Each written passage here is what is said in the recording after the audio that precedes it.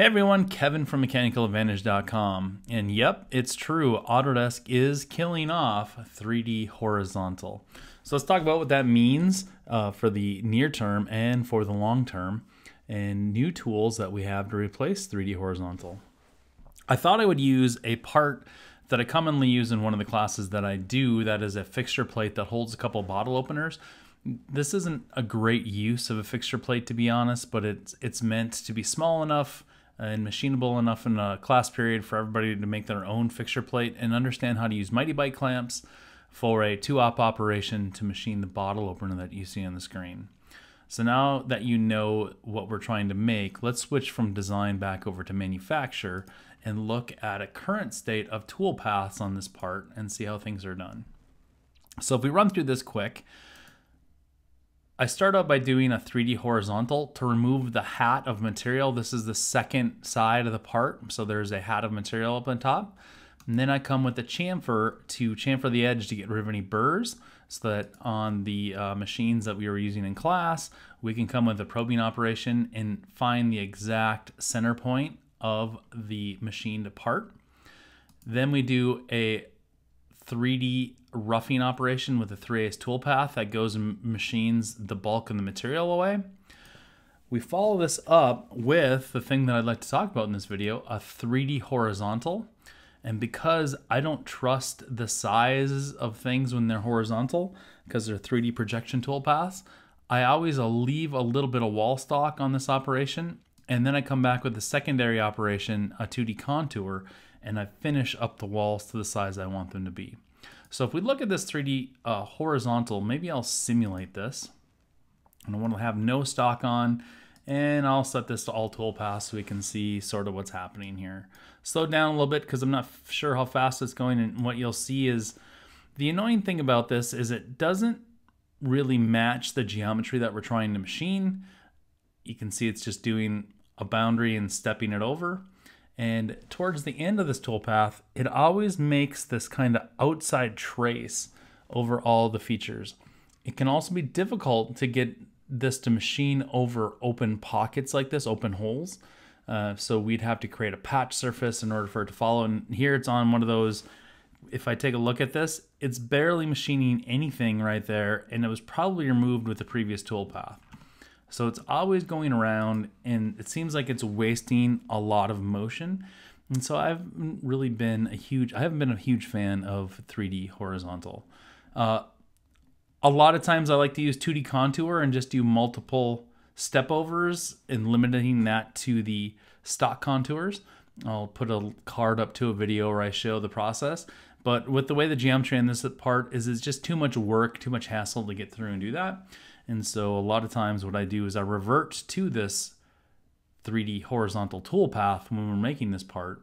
And I'm not really a big fan of how this one particularly works. Again, remember, I then have to follow up with a secondary operation of a contour to machine all the edges that I want to do so that I can get it to the proper size that I want. So I'm going to just right click on these two toolpaths and I'm going to choose to suppress those for now so they don't show up in simulations later on. And I want to talk about the new thing that we've been working on.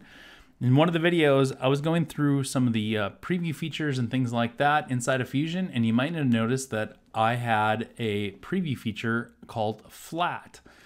Um, that Flat preview feature has been given to me as I've been able to access that for quite some time. I've been using it and I'm really liking the flat. And so I thought I would show you how the flat improves things on a part like this. So I'm going to start up on the 3D menu and I'm going to click on the new flat icon. You can also find it underneath 3D. And I want to go and find the tool I want to use. so it already came up with tool number two, the 3 8 inch flat. Now I want to go to the geometry. So one of the things that's very welcome in this toolpath is the ability to specify a touch or avoid surface. So maybe there's some surface that I, want, I don't want to do. Maybe I've already faced off the top of this pin or something like that. So in the previous horizontal, we had to limit things with heights. Here, I could just turn on touch avoid, click on that surface, and it would skip it. On the heights tab, I'm gonna let this strategy find every flat surface from the very top of the model to the bottom of the model. And we're gonna go over to the passes tab.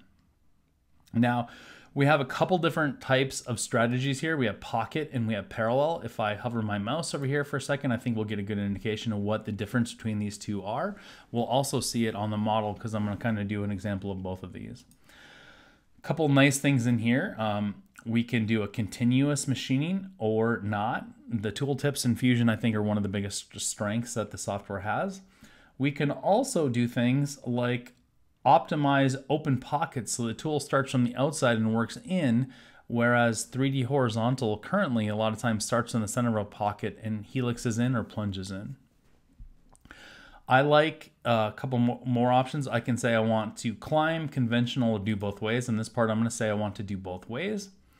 And then we'll talk about some of the other options coming up here. Uh, my step over is currently set to be 0.26. I'm using a 3 inch tool to do this. So there's a formula. If I edit the expression, there's a formula for this. However, I could also do something like just specify manual step over a 0.3 or a percentage of the tool that I want to use. We'll go over to the pass uh, linking tab. And the only thing I want to change on the linking tab is add a minimum traction. And I'll hit OK and we'll see what we get for a result.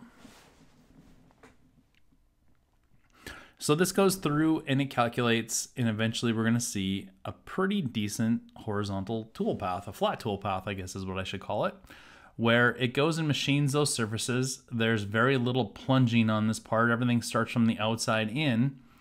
And I want to talk about a couple options I may or may not like. Um, it's not machining over this hole. This hole serves no purpose other than I put it in for the video so I could show what this uh, functionality does.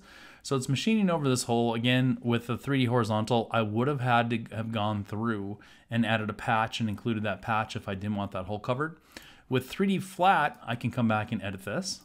And on the passes tab, I can turn on machine over holes. And this hole has a one inch diameter to it when I created it. So I could just go highlight this and enter in one.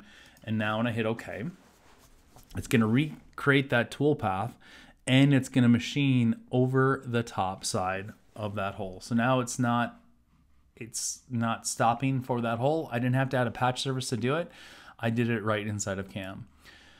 If I edit this again, I didn't really hit on it much, but because this is uh, has the ability to do either finishing passes, so I could add a finishing pass and specify what I want that finishing pass to be. I can also turn on stock to leave, and because I'm putting Mitee-Bites on this, I might want to overcut my pockets just a little bit to make sure that my Mitee-Bites fit in there. So I'm going to do a radial stock to leave a minus 0.005, uh, 0005, uh, 5 ten thousandths of an inch. So it cuts my pockets a thousandth of an inch big, but I'm going to set my axial stock to leave to be zero. I'm also going to come up here. This time I'm going to change the type from pocket to parallel.